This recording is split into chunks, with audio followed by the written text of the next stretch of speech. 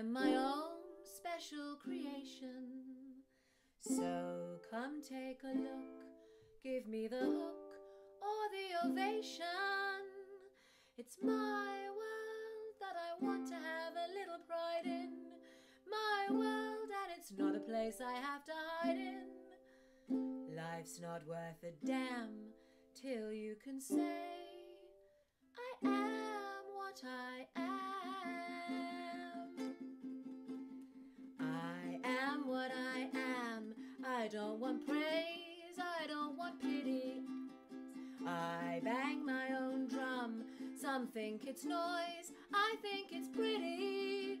And so what if I love each sparkle and each bangle? Why not try to see things from a different angle?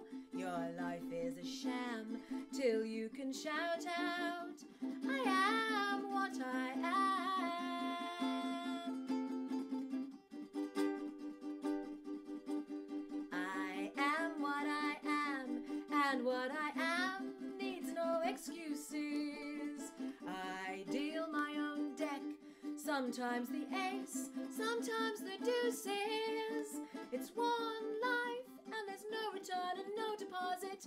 One life, so it's time to open up your closet. Your life is a sham till you can shout out, I am what I am. Yes, life's not worth a damn till you can shout out, I am what I am. Is what I am. Hello, how wonderful to see you on this very auspicious, very special seasonal uh, salon, Salon, salon de la Vie. It's special because this is the day to, uh, it's the International Day to eliminate or end violence against women, which feels like a very uh, important thing to mark. Um, and to do so, we've chosen uh, quite a specific uh, thing to do on it, I suppose. We're launching today, or have launched, you may have already seen, hopefully played with, um, our online exhibition. And as you know, usually we use the salons to celebrate uh, one or amplify one really amazing woman. Um, we're choosing to launch today and do a salon that kind of encompasses that exhibition because that exhibition amplifies the achievements of a lot of amazing women. So, uh, what it's about is Greenham Common Women's Peace Camp. Um, we worked very closely with a lot of Greenham women, a lot of Greenham women artists, and a lot of uh, artists in general to make something with an Arts Council emergency grant during the summer and autumn this year. Um, and it's uh, interactive, it's multimedia. You get to do a sort of treasure hunt where you can go and find the sort of material we've made. Please check it out. And if you've checked it out already, give me a little uh, heads up in the comments about how you've experienced it and what your first thoughts are. Um, it's the first thing we've done like this at all ever. It's a huge shift in our, our work. The amazing Animorph uh, were fantastic to work with. We couldn't have done it without them, but it's all learning experience for us. This is a big new deal. so, um, and the big new deal as well. Of course, the big uh, the big deal we want to celebrate is the Greenham women and their achievements and their what they gave to the world, what they inspire in other women. Um, to give you a flavour both of of what, what the camp life was like and also um, the kind of stuff you'll find on the site. I'm going to read you a couple of extracts now, written for us by one of our Greenham women artists, an amazing woman called Sue Say, who lived at Greenham for over a year um, as a young woman of 18, 19. Uh, and uh, these are just a few snapshots that we've had uh, that she wrote for us that kind of explain some of her experiences at the camp. So this is one about non-violent direct action. This is how they used to break into the base. This is her personal account of how that felt. It's 2 a.m. I'm freezing. I'm lying on my stomach between two bushes, the bolt cutters pressing into my thighs. I can hear the trees around me swaying gently in the strong breeze, leaves dancing around. I crawl silently forward, stopping only to pinch my nose to stop the threatening sneeze. I raise my arm. Everyone hits the deck. I plunge my face into the dirt and stay motionless. The approaching footsteps are firm and confident. I wait till they're level and then start my account. I, I have a count of 20 until he turns again. Time to cut the fence. I look silently forward. Leap. 12, 13, 14. I have a two and a half foot hole in the fence. I withdraw back to the safety of the bushes as the soldier continues his patrol. My heart is pounding, racing. I'm so excited. In this minute, right now, as I lie in the dirt with my sisters, I realise this is fun. Here's another. As I say, we have these voiced by some amazing actors, and you can find them on the site. You have to treasure hunt around, click on objects, and you find these little testimonials, songs, scenes, all sorts of stuff. Lesbians. Lots and lots of lovely lesbians. Cosmic, witchy, earthy worshipping lesbians. Hippie chicks by the dozen, butchers by the barrel load. Scholars, magistrates, and wives, we're all women, all refusing to stay silent. We decorated our homes, the fence, the base, at every opportunity. We used the symbol of the spider's web to show how even the most delicate of things can be strong when woven together. The world may have seen women as the weaker sex, but we were determined to show the world that we could effect change together peacefully. We had to protect the children, the future. Man's war machine had to be stopped, and it was going to take a lot of women to do it. Lots and lots of lovely women. And finally, she talks about the women that came to support the camp and why. It was Night Watch's job to look after the women while they slept, ensuring the convoy did not leave the base unchallenged and to keep the home fires burning. The importance of the fire was obvious, and uh, the law was later changed to prevent them, not that we listened. The fire provided warmth, a place for cooking, and somewhere to heat your water for washing. I think many of us will remember the tin bath that you filled and put on the fire at 10 in the morning and enjoyed your shower at 9 that night. Fire, more importantly, was the centre of our vibrant community, a symbol for our togetherness.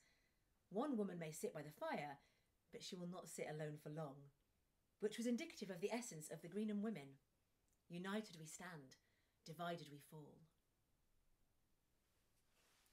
So basically, having worked with all these amazing people and created all these different pieces, uh, we've uh, made uh, the, the Animorph team have designed this absolutely fantastic site, partly in 2D and partly in 3D, that you get to find all these things um, on, and it's been really amazing to work with them on that. Um, and to work with all those women and all those amazing artists. Uh, so I encourage you to go and have a little treasure hunt. And I'm going to go into uh, one of the things about that uh, is really exciting about Greenham and art uh, is how many songs it produced. The Greenham Songbook is legendary, and there are some amazing, amazing folk singers that took the Greenham message out from Greenham into the wider world. And one of those was Peggy Seeger. We've been very privileged to work with her and Frankie Armstrong in our work uh, on this on this amazing uh, exhibition. And um, and I spoke to Peggy, and she very kindly gave me permission to use this uh, next song of hers. Um, it crops up in the film Carry Greenham Home, a must watch if you get the chance and haven't already. And it also is um, something that I used to sing a lot when I was running and helping to run uh, the Reclaim the Night marches in London when I was a younger baby activist. So um, I'm going to sing you Peggy Singer's, Peggy Seeger's Reclaim the Night as both a link to the work that second wave feminists and radical feminists were doing at Greenham and all the feminists were doing there, and also about the work women were doing in a wider sphere to try and protect women uh, from violence and to end violence, and the work that women are still doing and that we still have to do.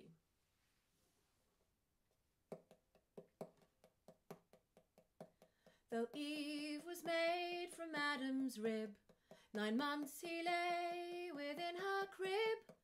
How can a man of woman born thereafter use her sex with scorn? For though we bear the human race, to us is given but second place, and some men place us lower still by using us against our will. For if we choose to walk alone, for us there is no safety zone. If we're attacked, we bear the blame. They say that we began the game, and though you prove your injury, the judge may set the rapist free. Therefore, the victim is to blame. Call it nature, but rape's the name. Reclaim the night and win the day. We want the right that should be our own. A freedom women have seldom known. The right to live, the right to walk alone without fear. A husband has his lawful rights, can take his wife whene'er he likes, and courts uphold time after time that rape in marriage is no crime. The choice is hers and hers alone. Submit or lose your kids and home. When love becomes a legal claim, call it duty, but rape's the name. And if a man should rape a child, it's not because his spirit's wild. Our system gives the prize to all who trample on the weak and small. When fathers rape, they surely know their kids have nowhere else to go. Try to forget, don't ask us to forgive them, they know what they do. Reclaim the night and win the day. We want the right that should be our own. A freedom women have seldom known. The right to live, the right to walk alone without fear. When exploitation is the norm, rape is found in many forms. Lower wages, meaner tasks, poorer schooling, second class. We serve our own then, like the men. We serve employers, it follows then that bodies raped is nothing new, but just a servant's final due. We've raised our voices in the past, and this time will not be the last.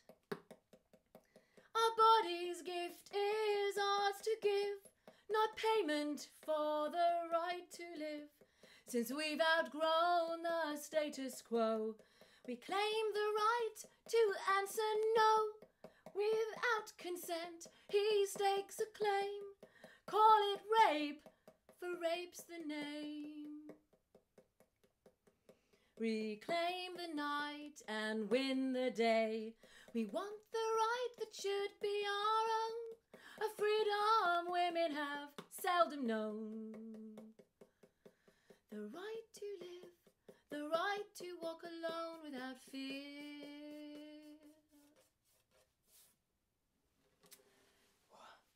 Sorry, I find that quite hard to get through. The uh, the middle verse about the fathers really gets me. Um, but yeah, thanks for bearing with. It's an important song, isn't it? I'll. Uh, I expect you can all sing a better version and send it to us on social media, and that would be great. Let's share it. Let's not perfect it. Let's share it.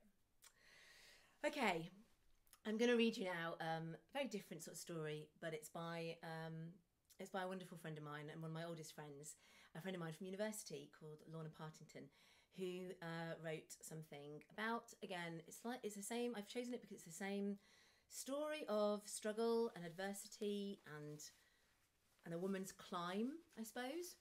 Um, but it's uh, got a very different timbre, but it's got that same inner strength. So it's a different outer vibe to that song, but it's got that same, it's got that same strong womanly core, and I'm excited to share it with you. Okay, I think it's an exclusive as well. I don't think she's um, had anyone else read this to, to in public, so I'm quite flattered and excited that she's chosen us. Okay, this is called Liberty Dock, and it's by Lorna Partington. The sun is high and the tide is turning. At this hour, the houseboats of Liberty Dock rise and the gangplanks moan. Alana heads for the far end of the dock along a broad walk lined with large, multicoloured pots full of succulents, their concentric leaves like swollen petals. Uh, past houseboats decorated with tiki totems, tribal masks, sea dragons, karakans, and mermaids. Mirror mosaics flash in the sunlight. A white whale weather vane pivots on its spindle in a puff of breeze that also makes the wind chime tinkle and dreamcatchers twist. She stops a moment to admire a voluptuous wood carved siren with opaque sea glass eyes. But it feels wrong to look so boldly at the blind. Nearly at the end of the deck, she arrives at the houseboat that is to be her retreat, a place with no name, only a number. Its exterior is humble. It wouldn't be out of place in a trailer park. Inside, too, it is understated, but in a smart city apartment way. Perhaps the other residents despise their utilitarian neighbour for undermining the bohemian spirit of the dock. Right now, however, she is grateful for its simplicity. After dropping her luggage in the bedroom, Alana opens a bottle of wine and heads for the rear deck. Strung beneath the canopy, a hammock hangs in a lazy smile. She doubts there is any graceful way of getting into it or out of it, and wonders if she should risk ending up in the water. Now, that's her problem right there. That kind of thinking, the limiting kind.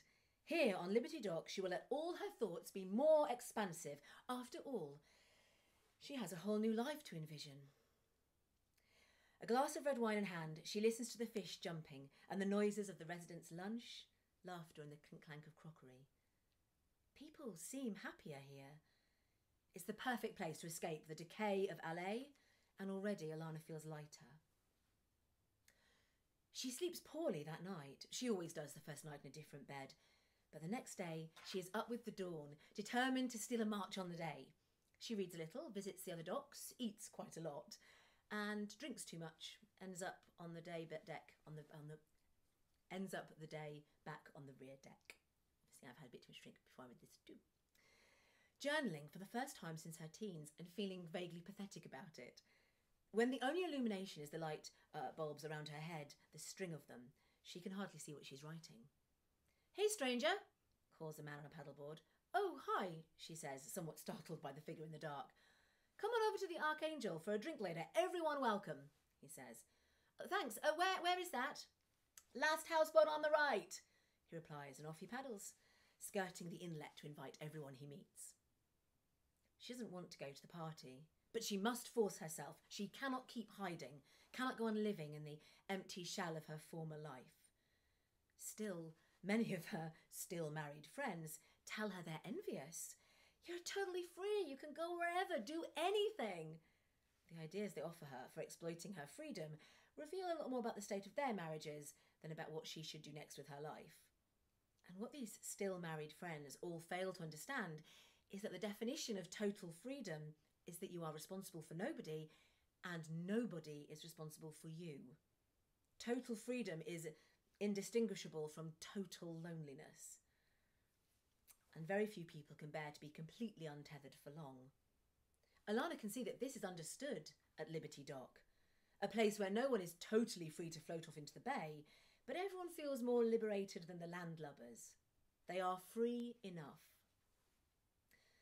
There are about two dozen Liberty Dockers aboard the Archangel when she arrives.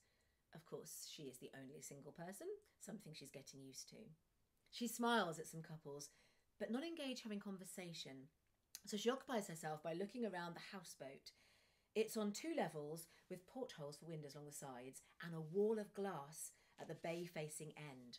The decor is nautical down to the smallest detail. Hey, are you from number 40? says the guy she supposes is the paddleboarder. I am, she says, shaking his hand. Glad you could make it. I'm Ed.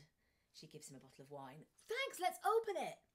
She follows him into the galley where a few people are leaning against the countertops and talking amiably. They pause to acknowledge their host. Everyone, this is. Um... Hi, everyone, I'm Joni. She invents a name because she's sick of being herself. Why not be someone else for a night? She has total freedom after all. As people tell her their names that she won't remember for long, Ed removes the cork from the bottle and pours some wine into a plastic cup for her. Love your accent, says one of the guests. Where is it from? She hates this question. It always leads to a variation of the same conversation. I'm from England, she says. Oh, I got family in Guildford. Do you know it? Not not very well. Oh, well, I love your accent. Someone else asks, So what brings you to the States? Another question she hates, because the honest answer, I married an American, inevitably leads to revealing the divorce, a subject that only bums people out and makes them wonder what is so divorceable about her. So she opts for a less risky answer. Oh, um, I came over to work in Hollywood, she says. Some eyes light up, and she spends the next 10 minutes being quizzed on what that entails, keeping it upbeat, of course. People don't want to hear about the countless meetings that seem to be building to something until the project suddenly collapses without explanation. Uh, neither are they interested in the young studio executives who, until the previous year, had been the assistant in charge of Xeroxing. And nobody, nobody ever wants to know about the unglamorous hours she spends in LA traffic, driving between studios, holding the wheel tightly to keep a grip on the frustration that her career could explode, make her explode into homicidal road rage at any moment. Everyone only wants to know if they've seen any of the films that she's been involved with and which of the luminaries she's met are actually assholes. Finally, the conversation diversifies, but she soon feels like an outsider among these long term residents, so she withdraws. She attempts to engage in some more small talk in the living room, but doesn't want to have the same two conversations repeatedly. Drunk, she ends up on the roof deck. She drops into a deck chair that's lower than she thought, causing her to spill a little wine down herself. She looks across at the calm black water of the bay to the twinkling lights on the opposite shore, little signals of domesticity. Suddenly, the tide, the melancholy tide of nostalgia, rises up inside her. Her vision swims for a moment, and before she can stop them, tears come spilling out. Shit, she whispers, stemming the overflow with a napkin. This happens a lot since he left her. Several times a week, randomly, in public, in private, even in her sleep. Grief is a strong, muscular fish that can surface anywhere, any time. You okay? says Ed, taking a seat beside her. He smiles and reaches across with the bottle of wine to fill up her cup. I'm fine. It's nothing. I don't expect you to tell me. Like, we only just met. That would be awkward. How very un American of you. Everyone here tells you they're in therapy within five minutes of meeting you. Uh, they do in California, that's true, but I'm from the Midwest, so I'm as repressed as you Brits. Yeah, yeah, really repressed, she says, waving her sodden handkerchief and smiling ruefully. They sit a while in comfortable silence until Ed asks, Ever paddleboarded at night? Graceful, grateful for a change of topic, she shakes her head. Never even paddleboarded during the day. He says, Being on the water in the dark is the best. Sounds dangerous. He swallows some wine and looks out over the bay. Somehow it feels safer. When you're out there in the dark, your focus is sharper, it makes you more feel more alive or in tune, I guess. Oh, more of both those things sound good. But I hope you're not suggesting we do it now. I'm I'm hopelessly and depressively drunk. Of course not. Another night. I promise you'll love it. Okay, sure. I leave on Wednesday. Then I'll swing by on Tuesday after dark. Try to be sober. I'll do my best. She stands to leave, but falls back into her seat. Embarrassed, she laughs and rests her hand, her head on her hands. You're probably not that drunk, says Ed. It's the way the houseboat moves. You can't feel it when you're sober, but it can floor you if your equilibrium is, should we say, impaired. He gets to his feet and holds out both hands to help her up. Some emotions are that way too. She looks up at him with a wry smile. Now that was very Californian of you. She takes his hands and pulls herself up, gripping them for an extra few seconds to ensure that she has her sea legs. Ed escorts her back to her houseboat, and she briefly wonders if she wanted him to make a pass at her, but decides she doesn't. She just wants to sleep and forget everything. The next day, she writes a sizable chunk of script. It's a huge relief to know that words, at least, have not forsaken her, and it gives her confidence that she can complete a first draft on this trip, although, as always, the ending is bound to give her grief. All endings do. The day after that, she gets up early and drives a long, winding road to the beach for the sound of crashing waves, a welcome change from the gentle lapping of the bay. Large bundles of seaweed sprawl on the sand like sunbathers in rags, Dogs rescue balls from the tumbling waves, and children carry wet, grey sand in buckets to castles they'll soon tire of building.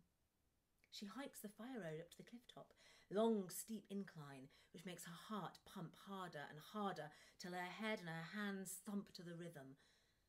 This kind of strain her heart can take.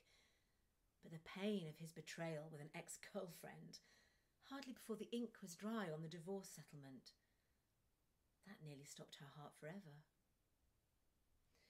Six months ago, she wouldn't have believed him capable. But how quickly the people we love can become strangers. At the top of the fire road, a narrow footpath branches off. The trail follows the cliff edge. The Pacific booms far below, and onshore breezes play mournful notes through the fence posts. The trail is arduous, and although she knows she won't make it to the end, she doesn't give up too soon, going as far as her strength will allow, because that is what she's good at. She returns to the houseboat, houseboat for a full afternoon of writing on the deck, and the words keep flowing. On her final evening, she's so caught up in writing that Ed's sudden arrival in the gloom gives her a fright. He pulls up on his paddleboard, pulling another beside him. Oh, I was hoping you'd forget, she says, lowering the lid of her laptop. I am the night boarding evangelist. I never let a potential convert escape. Oh, I'm still not sure about this. We're only paddling around the dark. There's plenty of light. You'll be totally safe. She sighs and gives him a resigned smile. Okay, preacher man, give me a minute to change. She goes off and returns barefoot, wearing shorts and a sweater. Nervous little fish roll around in her stomach. Let's go before I overthink it, she says. Ed hops off his board to help her onto hers, cuffing one of her feet with an anklet attached to a cord. Free enough, she thinks. Handing her the paddle, he says, You got this. He returns to his board and sets off. She follows him gingerly as she gets used to her primitive vessel, letting her eyes adjust to the ambient light. Soon, though, Ed is off on his own. Relaxing her limbs, she tries to find her rhythm, which takes a while. At last, she gets it, and she finds that Ed was right. In the darkness, her senses and mind are sharper. She feels she's inhabiting every inch of her body and is surprisingly grateful she doesn't have the ability to see clearly what's ahead or behind. Here, now, in this moment, is all there is and all there needs to be. More at peace than at any time in the last year, Alana carries on pedalling, correcting her course when she needs to, keeping her mind on each movement, sound, breath, and feeling at one with the, serene, the siren sculpture with the opaque sea glass eyes, whose blindness she no longer pities.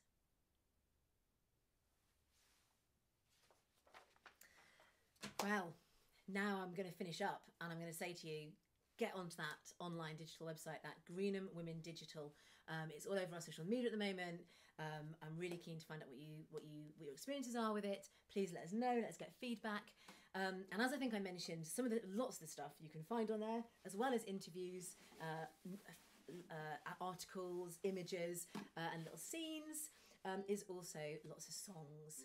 So I'm going to finish with um, a really, really sweet example of um, the kind of songs that the Greenham women um, filled their Greenham songbook with. Uh, they're not, um, they're not all uh, made up originally uh, like the ones that Peggy and Frankie would make up, and lots of the women did make up some fantastic original songs. They also used to take existing songs and put their own words to it. And for some reason, this one really tickles me. You will recognise the tune um, straight away. um, so I think that's a lot of fun to finish on. Um, a final plug. Um, let's uh, meet again. We've got a Christmas special. That's going to be it this year. Christmas special, and we're going to do it completely live. So not these like these where I do it as live. Um, you know, record it all the way through, as you can hear, warts and all. Sorry, Peggy, for putting a bit of a wart in your gorgeous song. Um, but uh, but but uh, and then I sit on the message board, as you know, and, and play uh, and talk to you while you watch it. Um, but uh, an actual live stream um, with some chums, hopefully some special bits and pieces. I'm going to do an interview with Jacky Fleming, who's been drawing for us this whole season, all the seasons this year. So it should be really good fun, and we'll have to do lots of festive hijinks in that, getting the glitter on for sure. But for now, that's on the 16th of December. Please, please come to that. For now, join me raising a glass to Greenham women everywhere. Here's to them. And now, here's a song for them.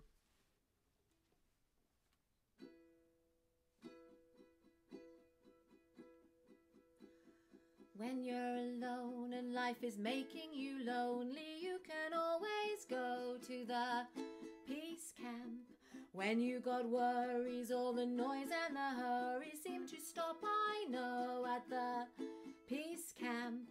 Linger at the main gate where the benders are so pretty.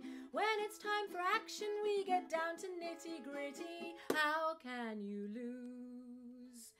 Campfires are much brighter there. You can forget all your troubles, forget all your cares, and the peace camp where women's eyes are bright. Peace camp waiting for you tonight. Peace camp, you're gonna be alright now.